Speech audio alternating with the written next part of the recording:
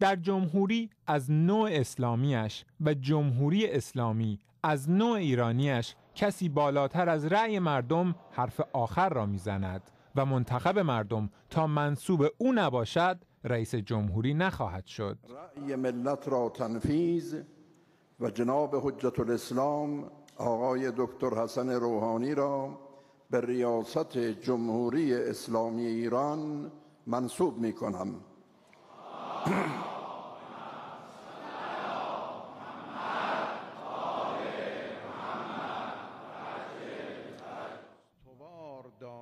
امروز کسی رئیس جمهوری ایران شد که خودش را برآمده از یک انتخابات همراه با بدبینی و ناباوری عمومی می‌داند.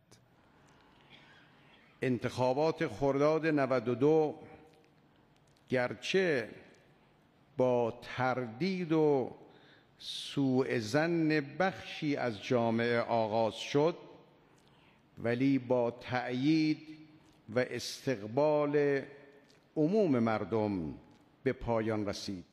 ولی خود حسن روحانی هم می‌داند که برای رفع آن تردید که نتیجه اش قهر نزدیک به نیمی از واجدان شرایط رأی دادن با صندوق ها بود کار سختی پیش رو دارد.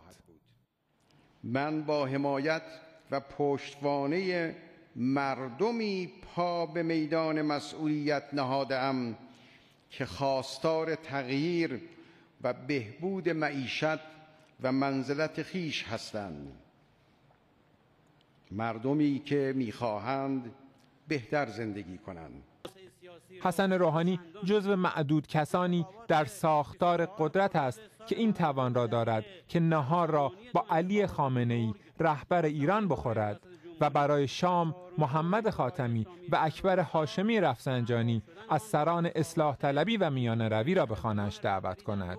موقعیتی که از یک سو باعث شد بتواند از صد شورای نگهبان عبور کند و از سوی دیگر با جلب حمایت اصلاح طلبان اکثریت نسبی آرای رای دهندگان را کسب کند.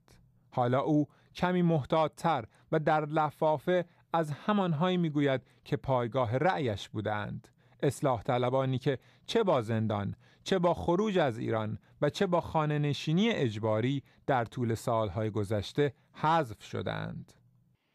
بگذاریم که فضا و فرصت خدمت برای همه ایرانیانی که دل در گرو این مرز و بوم دارند باز شود. بگذاریم که شایستگان به ملت خدمت کنند. بگذاریم که سینه ها از کینه ها پاک شود. بگذاریم که آشتی جای قهر و دوستی جای دشمنی بنشیند.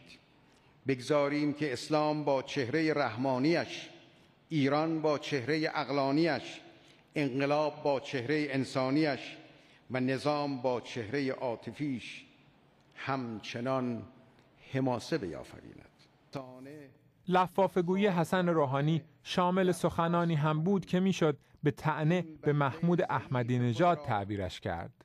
کسی که عملکرد هشت سالش هدف انتقاد تند آقای روحانی در دوران تبلیغات انتخاباتی هم بود. خداوندا به تو پناه می‌برم. از استبداد رأی عجله در تصمیم تقدم نفع شخصی و گروهی بر مصالح عمومی و بستن دهان رقیبان و منتقدان.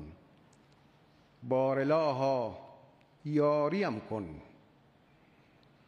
تا بنده مخلصی برای تو و خادم لایقی برای مردم باشم.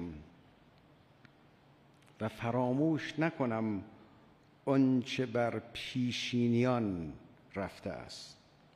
حسن روحانی از پیشینیانی می‌گوید که پیش از این در جایگاه او بودند و تا زمانی کارشان پیش رفت که حمایت منصوب کنندهشان را با خود داشتند.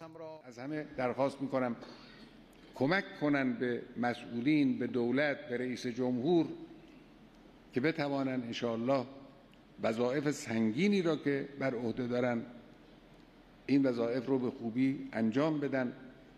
و توقعاتی که وجود دارد و مردم دارند این توقعات را انشاءالله به بهترین وجهی برآورده کنند. امروز حسن روحانی با حکم تنفیز خودش از ملاقات با رهبر ایران بازگشت.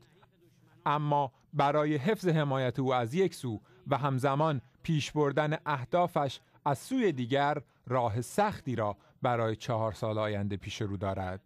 پناه فرهاد بهمن BBC